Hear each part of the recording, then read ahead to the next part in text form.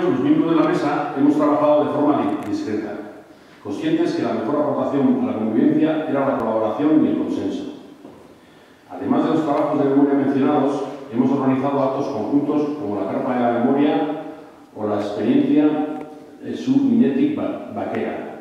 Hemos impulsado la querella argentina mediante la recogida de testimonios y registrándola ante el juzgado de Vergara, incorporándola a la de Buenos Aires, instruida por la jueza, por, la jueza María, María Servini, además de tratar otros temas relativos a la convivencia del municipio.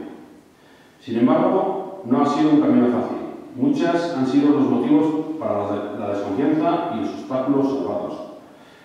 El proceso realizado ha supuesto un ejercicio de generosidad mutuo en el que ha primado el compromiso de contribuir a construir la convivencia en nuestro municipio.